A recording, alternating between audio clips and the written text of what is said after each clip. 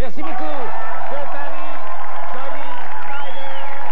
Une histoire d'amour avec Patrick Bruel aussi. On. Mais c'est vrai qu'elle est pas mal sexy, cette Jolie Snyder-là. Hein? Mais je sais pas ce qu'elle avait. Je trouvais qu'elle avait un petit quelque chose de trop, pour, en tout cas, bizarre pour que je la trouve vraiment. Peut-être le rouge à lèvres trop voyant, on sait jamais. quelque Ça doit chose être comme ça. Oh, ah, tiens, des feuilles. Ben, servi par les propos percutants de sa dernière chronique, notre bon ami Fernand McCulloch remportait la semaine passée un succès foudroyant dans tous les foyers du Québec. Oui, à un point tel, Pierre, que Fernand a même été Oh. désigné personnalité de la semaine par le comité des tricoteuses de Gogun en Fentex du Cercle des fermières de la Basse-Côte-Nord. Alors, fouetté donc par de tels éloges publics, Fernand nous sert à nouveau sa nouvelle chronique.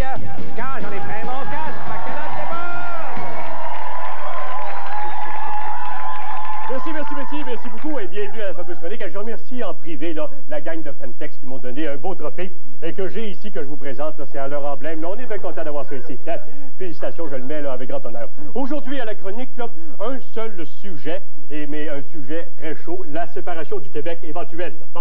Pour en parler, j'ai un spécialiste de la question qui est à mes côtés ici, et j'ai nommé Monsieur Ginette Robidoux, mesdames et messieurs, qu'on applaudit. Ça fait plaisir de vous rencontrer, c'est plaisir.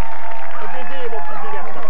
Ça fait Euh, coucou, coucou, euh, Monsieur Macalotte. Ah ben, co- comme vous dites, moi, ça me fait plaisir de vous rencontrer ma petite chronique, là. Ouais, coucou, coucou. Bon, euh, écoutez, euh, vous êtes spécialiste de la question euh, référendaire éventuelle, et vous nous avez préparé une petite dramatique Oui. sur la question. Exactement. Euh, cette petite dramatique-là, là, j'aurais une petite question déjà au départ à poser.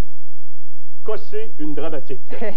Euh, c'est un concept que j'ai volé à une de mes concerts de Radio-Québec. Ah et, bon? et la dramatique que j'ai emportée avec moi s'intitule Le nationalisme Oui. et le milieu ouvrier. Ah ben écoutez, ça nous donne le goût de la regarder tout de suite, ça, cette petite dramatique-là.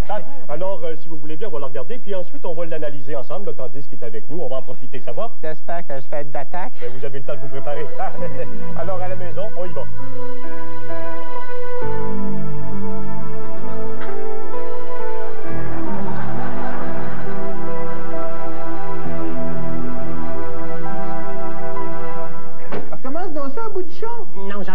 Pour la dramatique, je m'appelle Jean-Baptiste. Commence donc ça, Jean-Baptiste? Non, t'as pas l'air affiné, toi. Ah, si tu savais, Jérôme, comme je suis préoccupé. C'est quoi, par ta femme? Non, non, non. Dis-moi pas que c'est ton char. Ah, non, non. Mais c'est quoi qui te préoccupe d'abord? Préoccupé par l'avenir du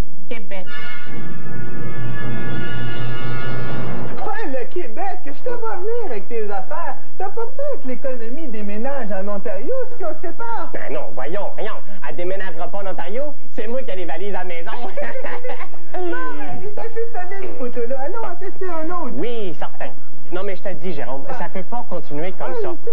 C'est insupportable. Il faut, il faut que ça change. Ouais, c'est vrai, ça. Faut changer le moteur. Mais non, c'est- c'est parce que le moteur de la culture, là, c'est la langue. Ah, on peut peut-être garder la langue, mais faut changer le gasket, ça coule. Ah, pauvre Jérôme, quand t'es né pour un petit gasket, oh! Non mais, by the way, là, euh, et si on se sépare, là, on n'aurait pas besoin d'en faire deux rapports d'impôts, pense à ça? Rapport d'impôt. Ouais. Ah, j'en ai déjà fait un une fois, mais ça m'a coûté tellement cher que j'ai plus les moyens, à ce temps, j'en ai plus. Ouais, attention, larguez les Ah, amarres. merci Martin. Kowalski, chassez les ballasts. Attention. Bah, je, te, je te le dis, Jérôme, là, le Canada, là, c'est une vieille mécanique rouillée, ça. Puis À chaque fois qu'elle est en panne, c'est toujours le Québec qui la remorque. Ouais, Hum. T'es pas tanné, toi, que... Oh, oh, mon Dieu! T'es pas tanné que, que le Québec euh, soit toujours euh, à la remorque de la minoune fédéraliste? Hein? Si c'est une minoune dégriffée puis opérée, ça me dérange pas. Ah, ben, t'as raison. Hum, t'en veux-tu? Non, non, ouais, t'es préoccupé par le Québec, mais tu l'es pas par ton cholestérol. C'est toi ici, moi, en tout cas, en 92, là, au référendum, on va être là. Hey! Attention, attention, je le boss. Maudit anglais. You speak about the referendum, maudit frogs? Si la province se sépare, là, la compagnie va s'en aller en Ontario. Ouais, mais ça va faire loin pour réparer les métros de Montréal. Ah, Hein? Oui, oui, c'est oui. Well, oui, oui, maybe. oui. Bon, ben, envoie tatouer, là. Envoie 500, 500, ah ouais, 500,